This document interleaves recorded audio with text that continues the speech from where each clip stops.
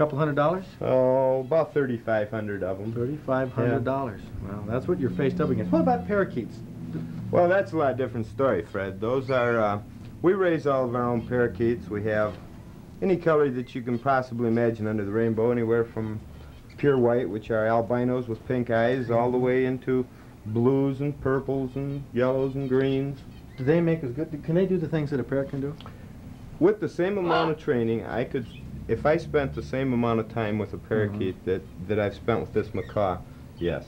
Wouldn't you say, Glen, that this is sort of the answer to people who want pets? maybe I'd highly parakeets? recommend these birds if you're interested. One, not only for what Rich says, but two, these birds are adapted to captivity, and although you don't ever want to abuse or neglect a pet, these birds will tolerate a little bit of neglect, a little bit of abuse, and they, they adapt very well to ordinary methods. Uh, and as Rich says, he raises these, whereas those macaws don't don't uh, breed in captivity, and their habitat in Brazil is being destroyed, and their status right now is questionable. Fred? Uh, whereas there's You nothing like Fred? in question at all about these these small parakeets. Okay, well, that's sort of the answer if somebody wants birds for pets. Go to a pet store, get a parakeet, something like that. Don't take Or a birds out of the canary wild. or a finch. There's a wide variety of choices. Big variety, Fred. How about for our anglers out there? Let's go to some fish.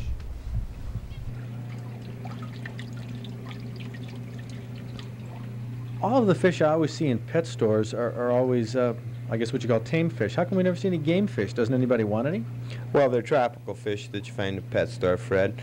Sure, you can have uh, Michigan game fish, but you do have to have special permits from the Department of Natural Resources, and um, you have to go out and you have to collect your own species.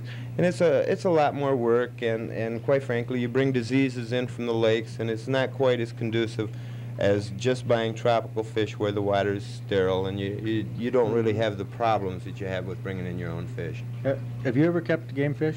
Yes, uh, there at the university we keep game fish on display, and the students work with them, and they have a great deal of trouble because of disease, just as Rich said, and also because these fish have a special diet. And it's very difficult to meet the dietary needs of, of these game fish in, in captivity. Oh, yeah, feeding a pike, for example, daredevils, really gets expensive. yes, it does. but these, well, what does it cost to get a tank of just what you call the community fish and set it up?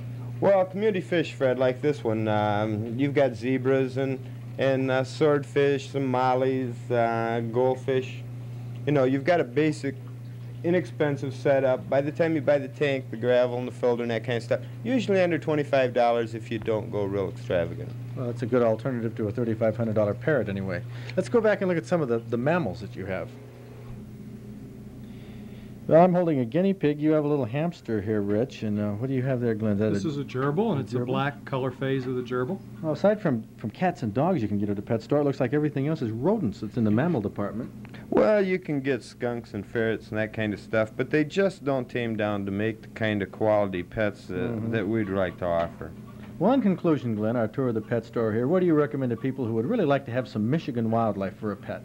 Well, these Michigan wildlife that are produced in pet stores, because they're docile, they're handleable, they don't have a lot of special requirements, they're easy to take care of.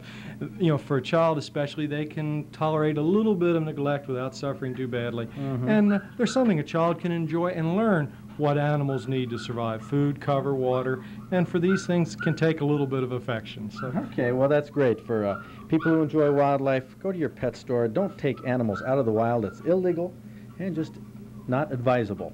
But these do make pretty good Christmas gifts, eh? Oh, sure, sure. A little hamster can give it a lot of kids a lot of enjoyment at Christmas time. And especially keep an animal that you can keep and don't want to think